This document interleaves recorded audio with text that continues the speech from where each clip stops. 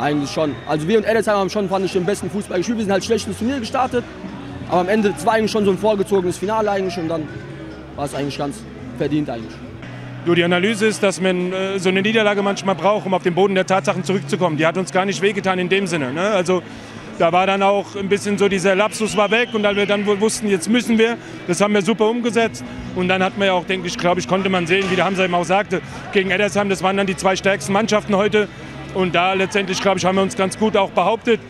Und ich denke schon, dass wir verdient das Turnier gewonnen haben. Gerade im Endspiel haben die Jungs wirklich eine souveräne Leistung abgeliefert. Und das Ergebnis entspricht auch der Leistung. Also man muss sagen, dass wir eine relativ schwere Gruppe hatten. Heute mit dem äh, Pokalsieger natürlich. Da Glückwunsch an meinen alten Freund Pelle und die Jungs, die ich aus Salzheim noch kenne. Auf jeden Fall, das haben sie sich verdient. Ähm, unser einziger Trost, warum wir nur Dritter geworden sind, wir haben den Pokalsieger geschlagen. Daher können wir äh, erhobenen Hauptes, denke ich mal, mit dem dritten Platz nach Hause gehen. Für uns als Alemannia als Kreisoberligist bei so einem renommierten äh, Turnier ist es natürlich immer eine Ehre, so weit zu kommen, dann den dritten Platz zu holen und natürlich, äh, was uns immer schmeckt, Eddersheim dann nochmal zu schlagen im 9-Meter-Schießen. Ähm, sehr gut. Also es waren, wir haben viel Fußball gespielt, ähm, der Ball ist gelaufen, fand ich. Und es gab wenige Grätschen, wirklich, die wir unterbinden mussten. Und ich würde für mich sagen, wir waren da auch dann an Ort und Stelle und konnten reagieren und haben das auch gemacht. Und das wurde auch von allen akzeptiert. Und deswegen gab es heute keine größeren Streitigkeiten und es war sehr schön. Das hat man für Gefühle, wenn man so ein Prestigeturnier gewinnt. Das ist einfach nur überragend. Wir sind jetzt seit drei Jahren waren wir dran, dieses Ding zu gewinnen. Irgendwie immer im Halbfinale, im Elfmeterschießen oder irgendwie sind wir immer ausgeschieden. Es war einfach mal die Zeit für uns, das Ding zu gewinnen. Die schwerste Hürde war Eddersheim, muss man ganz klar sagen. Wir haben auch eine brutale Hallenmannschaft. Also für mich war es klar, dass einer von uns beiden jetzt das Ding heute gewinnen wird. Am Ende hatten wir vielleicht ein bisschen Glück im Elfmeterschießen, aber es gehört dazu, das haben wir uns erarbeitet und sind einfach nur glücklich, dass wir jetzt endlich mal gewonnen haben. Ja, aber gut, natürlich, äh, Hallen spielen kann er definitiv, das wussten wir ja vorher. Was du gefragt hast, vor mit Integration ist doch kein Problem. Ich glaube, wir haben jetzt von den acht, heute acht Spielern, waren glaube ich sechs mit Salzheimer Vorgeschichte, die schon zusammen gekickt haben. Trainer auch, also von daher.